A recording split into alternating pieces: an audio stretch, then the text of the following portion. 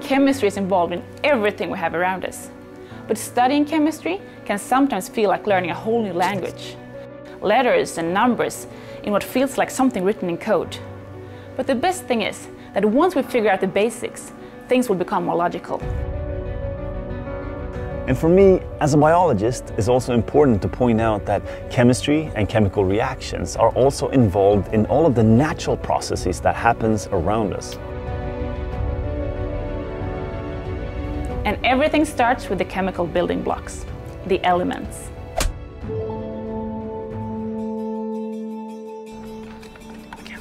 This is the chemical element and metal sodium. Whenever you're ready. I'm ready.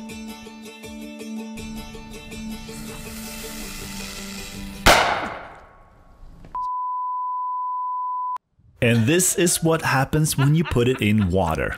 Sodium is, as you can see, really reactive, something that is pretty easy to predict when looking at its chemical structure. But let's not get ahead of ourselves here. Let's first take a step back and look at the basics. Everything around us, no matter what we look at, is made up of atoms, and all atoms have a similar fundamental structure.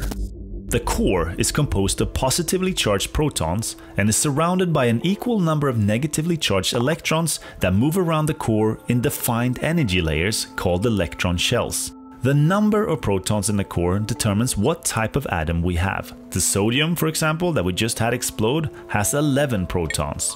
In addition, the core can also contain a varied number of neutrons, but these are, like the name implies, neutral and have no net charge. In total, there are around 100 different types of atoms, and we refer to these as the different chemical elements. So an element is something that is made up of only one type of atom, like for example helium gas, or like in our first experiment, the metal sodium. Different atoms can then bind to other atoms in different combinations and build countless types of molecules. Even if the differences between the different types of atoms is just a couple of protons here and there, these small differences are essentially what changes the chemical properties of the different elements. Take fireworks, for example. The way to achieve that awesome multicolored firework display is only possible because pyrotechnicians know how different elements react in different situations. Red color fireworks, for example, is the result of molecules containing strontium. Green is achieved from molecules containing barium, Orange is from calcium and blue is from copper. Iron, on the other hand, is often used to create sparks.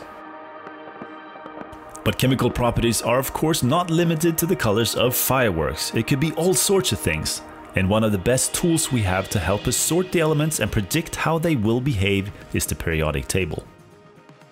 The periodic table is a clever organization of all the elements, organized after how they differ in structure.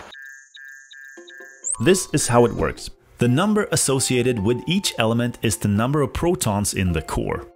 Each row in the periodic table indicates a new electron shell, and the number of elements across in each row indicates how many electrons that particular shell can hold. The elements tend to favor having full shells, which means that they can either give off or receive electrons from other elements to achieve this. The elements in this first column, where we find sodium, all have only one electron in their outer electron shell. This makes them all highly reactive and prone to give off that electron to another element.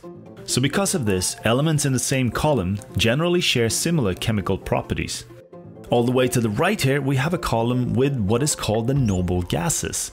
Their electron shells are instead all full, which makes these elements extremely stable and not at all interested in taking part in any chemical reactions. And similar rules applies to all of the other elements as well. It's almost mind-blowing to think that these close to 100 elements make up everything on the planet, from the mountains and the oceans to the genetic material that make up who we are. The interesting and smart thing about the periodic table is that with just a little simple knowledge about its structure, and of course a little bit of basic knowledge about the elements, we can get a lot of clues to help us predict the outcome of chemical reactions, which is in turn what chemists use as the base for experiments and groundbreaking research. Some knowledge about the chemical elements and how they are organized in the periodic table is key to understanding basic chemistry. For example, how and why elements bind to each other, why chemical reactions occur, and how we can synthesize chemicals, such as pharmaceutical drugs. And we have a whole series of videos to explore these topics more. Thanks for watching today.